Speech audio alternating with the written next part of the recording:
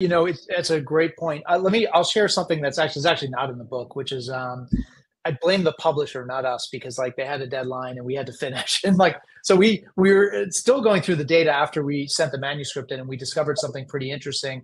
We had a lot of questions from folks about, you know, what techniques are useful to identify a decision. And I think the one, uh, Tom, is exactly what you said, which is engaging in really good active listening. And I think also recognizing that sometimes the things customers are asking for saying you might think are good things like i want another demo with the same team we've seen the past five demos. I want another reference call. I want to do another poc in another part of the business you know to, to continue to collect data and build the business case.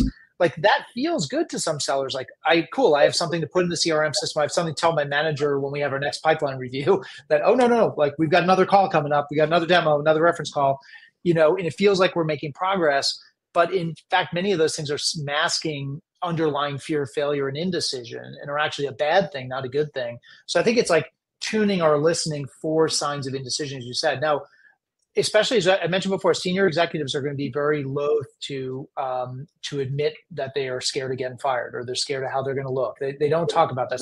In fact, I'll tell you guys, I did a dinner with um, some senior execs not too long ago. CTO of one of the world's biggest manufacturers stormed out of the dinner after I did the presentation because she was so offended at the suggestion that people like her were afraid of failure. And she said, I make a hundred decisions a day that I would get fired if I was worried about screwing up. Like that is that's not how I got my job. Like I got to go.